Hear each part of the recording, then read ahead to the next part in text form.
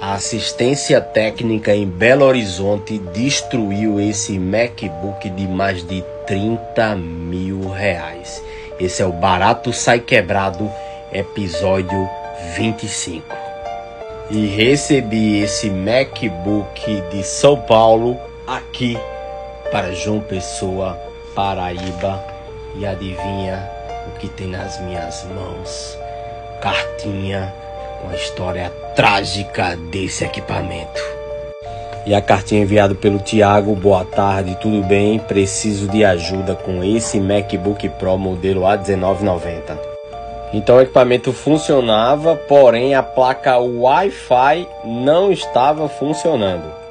Decidi levar em uma assistência técnica em Belo Horizonte, nome tal, para arrumarem a placa Wi-Fi.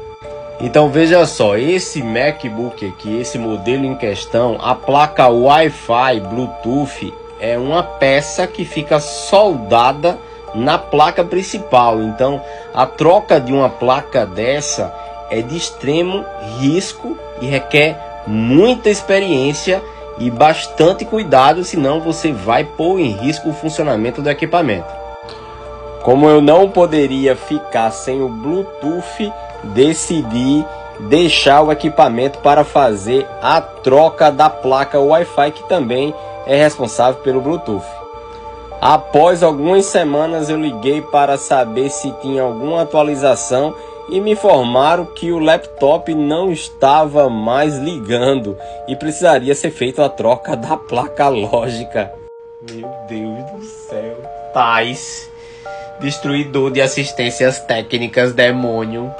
Eu sabia que ia dar merda. E com a tampa removida, vamos direto aqui para as antenas da Wi-Fi.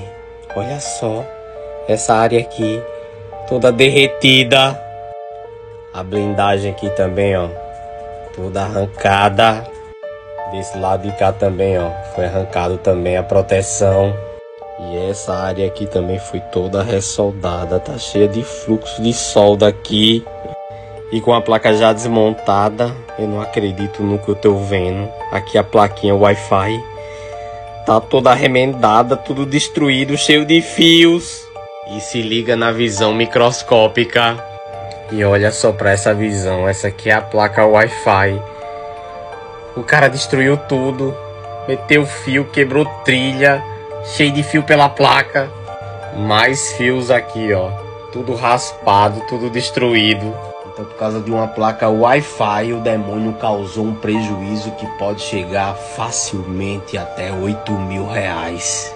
Mas deixa teu comentário o que você faria se uma assistência técnica destruísse todo o seu equipamento por causa de uma placa Wi-Fi. Lamentável.